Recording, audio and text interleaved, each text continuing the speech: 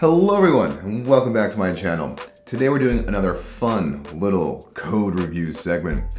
This one is a fun little code review of the new, one of the marquee new non-features of React 17. Uh, if you checked my previous video out, giving you kind of the rundown about why React 17 is surprisingly exciting in a weird way, um, that reason is React now has better support for gradual upgrades. That meaning that you can, with React 17, it'll be easier for you to embed different versions of React on the same page, which is very useful if you are in a company that has old legacy React applications that you don't want to spend the time to upgrade. You can leave them be and embed them in the newest and greatest React 17 or plus versions. And that way of doing that may be confusing to people. Um, and the React core team and their endless pursuit for giving context and knowledge to everyone out there has made a actual demo of how to do these gradual upgrades, how to lazy load an older version of React if necessary. And this demo takes a new React 17 application as the base and then shows you how to lazily load a React 16 application inside of it. Um, this is what it looks like, the repo. Um, we're to be delving into it in the code itself, which I find a little bit easier. But this is what the rendered code looks like itself, just to kind of give you an idea.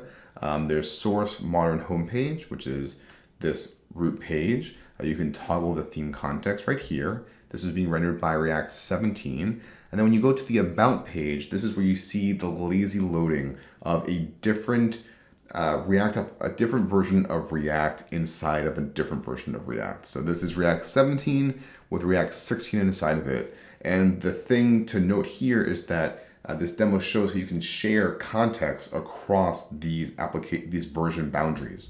So when you change theme context here, it's changed in both locations. When you increment a counter outside, it propagates inside and vice versa. So you have the same single source of truth that's shared across every version of your application. So if you have some, you know, logged in user context, you want to make sure it is kept consistent, you can do that fine. So this is the code. Let's jump to the code itself. Okay, here is the code. I cloned it out locally so I could A, run it and show it to you, but also I find it easier to kind of go through the code tour with my VS Code set up here. Um, this README is lovely. Uh, in point of fact, I read it more than once before making this video just to make sure I gave you the right information. Um, but hopefully this video will serve as a oral dictation of what the contents of this is because there's a lot of words in here. Um, it is a mostly normal Create React application. You can see here that it's using React scripts, which is what you use for Create React app. I still can't get over how smart VS Code is. That's an aside. But you kind of see there's all these like fancy little scripts here. So it's a, it's a vanilla Create React application, which is important to note to show that this way of doing this embedding of React versions can be applied to almost any setup. Um, these are, you'll see why these exist in a second. You have the source folder, you have your uh, index file, which is the entry, which is going to modern. Um, to be clear, uh, modern is the is the React 17 version of code. Modern is React 17, legacy is React 16, and shared exists to show how you can share components with both versions. Here we're making a vanilla Redux store, storing the most sensitive of all data, a counter.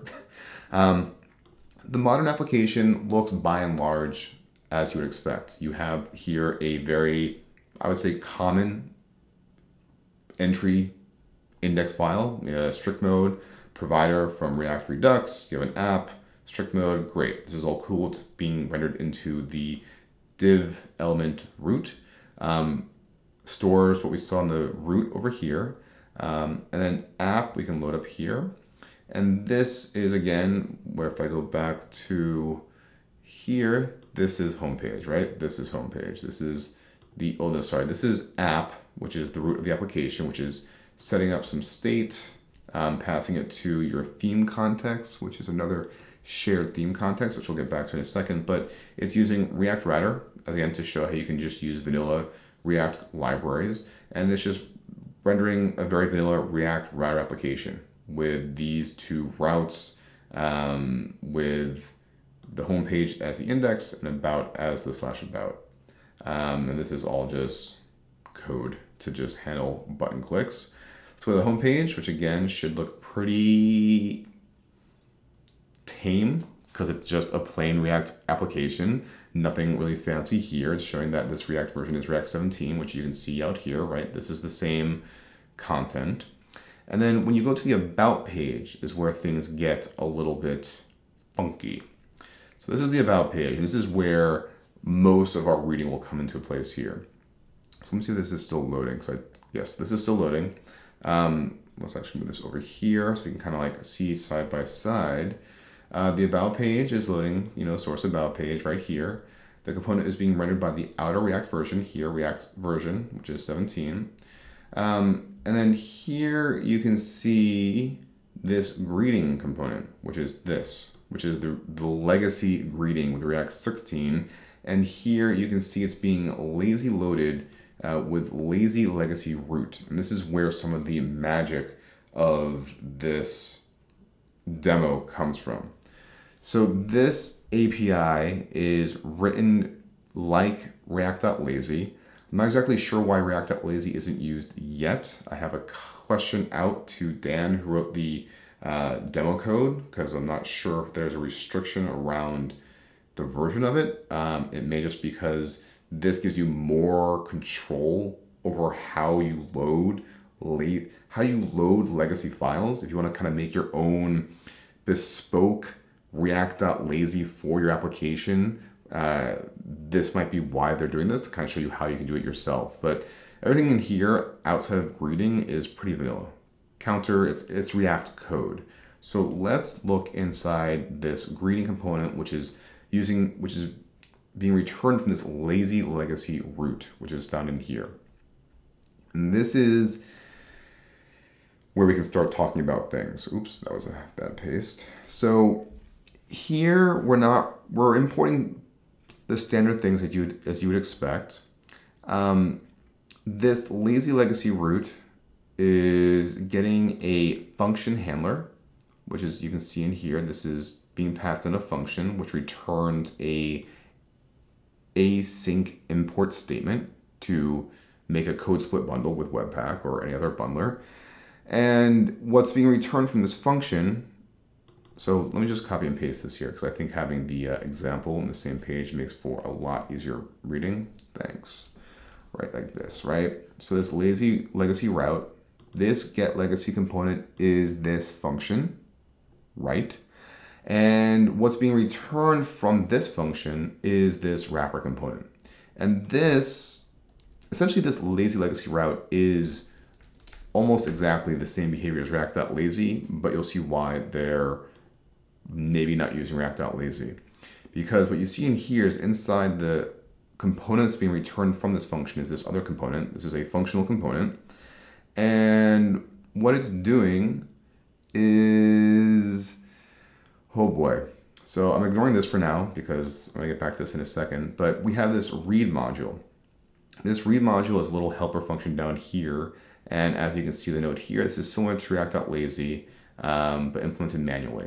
And in case you didn't know, the way that React.lazy works is that when you, and this works with any promise really, but when you call React.lazy, inside it's saying, uh, so read module, whoops, is being used up here and render module. This is state, which we'll get back to in a second. But the second function, the second argument is essentially similar. It's a function that returns an async import statement, just like here.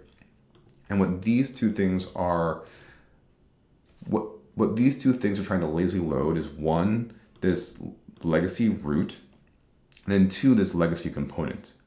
So this legacy component again is this up here. And this legacy root I'll get back to in a second. But this is essentially emulating React.lazy.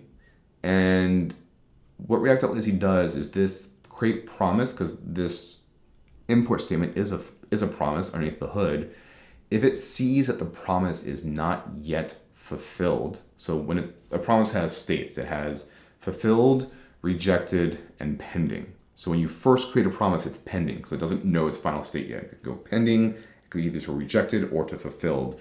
When there's no promise, uh, it creates that, it calls that function to return that promise over here, right? That's the same, right? This, let me just make sure that you keep things in context because I think things are very confusing when they don't have the examples in place, right? So this create promise, right, equals this, right?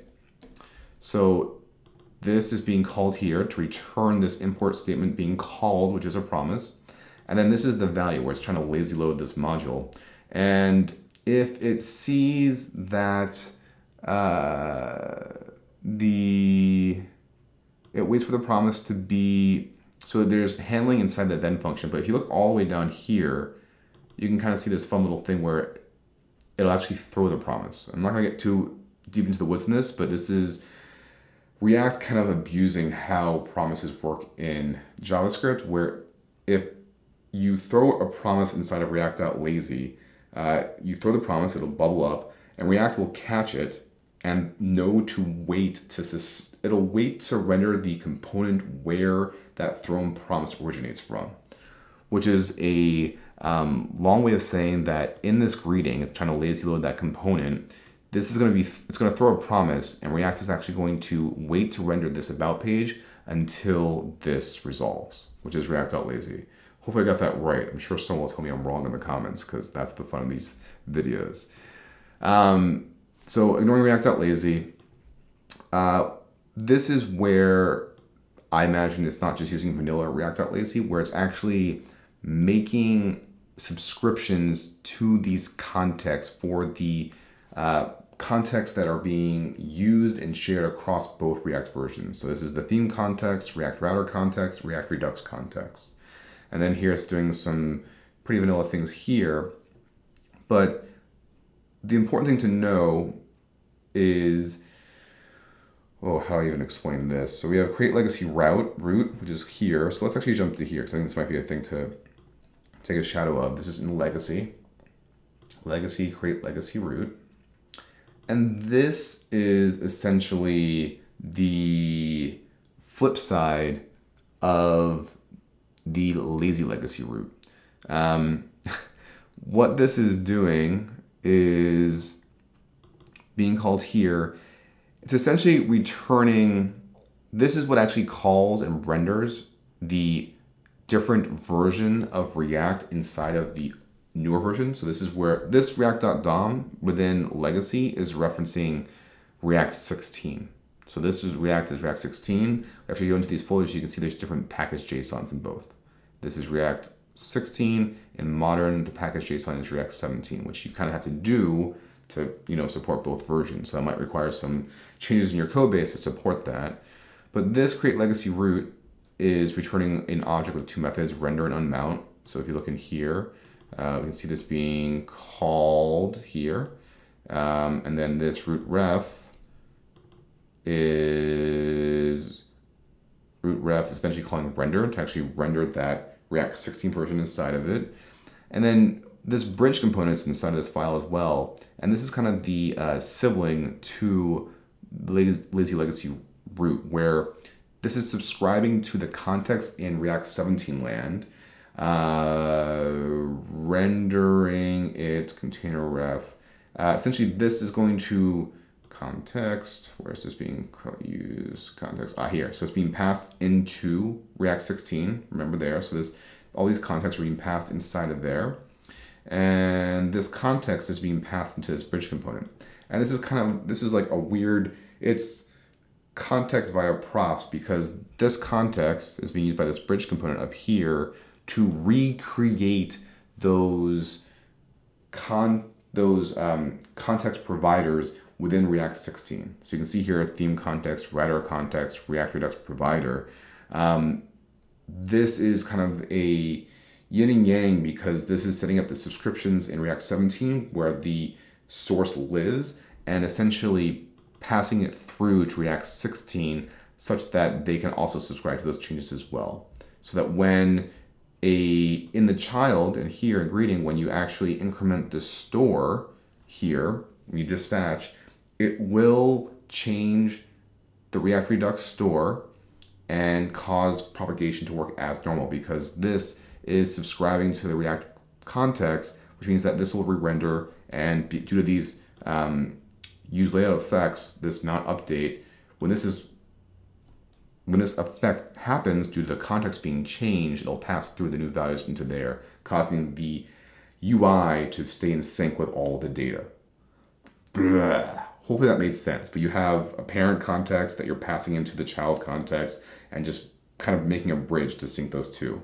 Um, the, the efforts you go through to make sure you don't upgrade your legacy code, uh, which frankly, um, this small effort, which the React core team has done for us, is probably less time in some than just upgrading all those changes.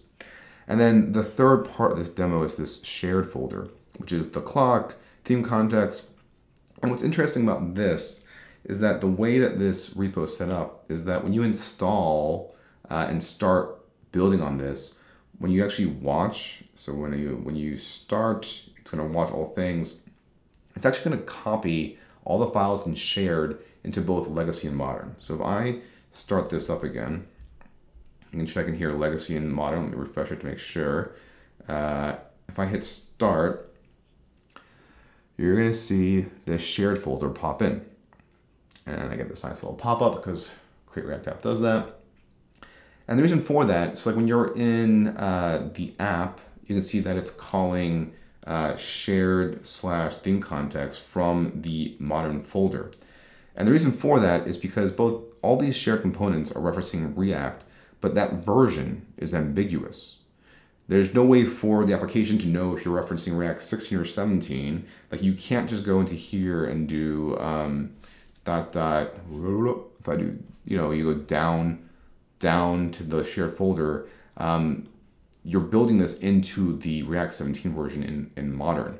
You actually have to at least in this version, copy it into both so that you have a different version of each component that is using different React versions themselves. Which is a weird gotcha, which I wouldn't really think about, um, but one that I'm sure you'd be annoyed about and cause some weird conflicts in it. Um, but that's kind of the demo. That's that's kind of like when you click in here, it's dispatching and things update, and things just work by and large. You, you can use this code, modify it to your needs to have this set up working at your own company. Um, but that's that's that's React 17. That that is the big feature here, which you now have support to do. Uh, you don't have to worry about updating your code to work with new versions, updating your tests, which is probably sometimes even more annoying than anything else. Um, just works. So that's the code walkthrough of how to do gradual upgrades with React 17. Hopefully you found that interesting. It's it's weird. It's a very uh, legacy uh, oriented approach to building applications, but that's the whole point of React 17 is how to support older versions of React 17 uh, of React. Uh, hopefully you enjoyed that walkthrough.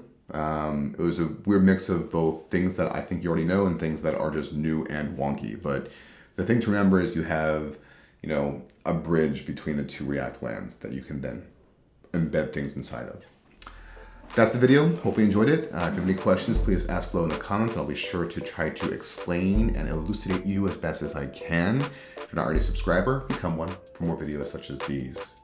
Uh, I will see you again next video when it drops.